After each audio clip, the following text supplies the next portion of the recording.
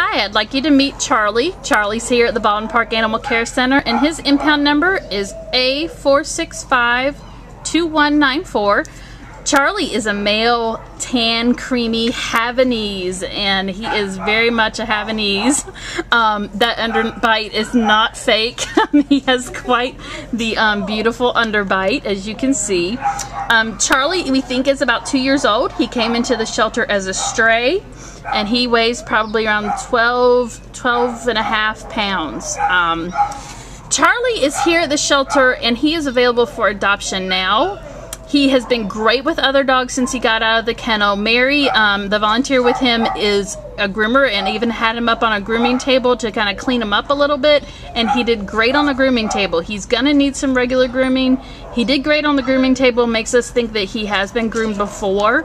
Um, so he's used to that kind of attention to his coat. He's got this beautiful long coat like Havanese do um, that just needs some grooming. It's it's like hair on a on a on a young girl. it's soft and cuddly um, and just needs some regular grooming. But it's a beautiful long hair like kind of coat.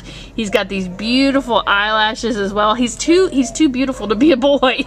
um, that underbite is adorable. He's been very calm. He might need a little leash training because we think he was probably just a house dog who was mostly in the house. Maybe he didn't take as many walks, but if you want to take him on walks, I think he'll just need a little bit of leash training. Um, he's probably house trained. He did his business outside of his kennel a little bit.